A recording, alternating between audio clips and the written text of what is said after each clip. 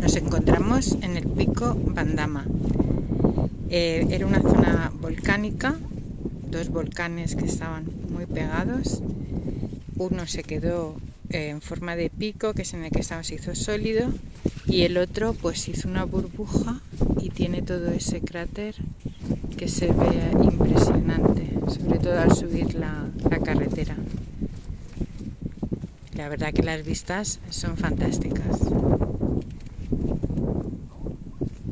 Así que si vienes a Gran Canaria, recuerda visitar eh, pues el pico Bandama para ver este cráter que fueron los últimos volcanes en erupción en esta, en esta isla.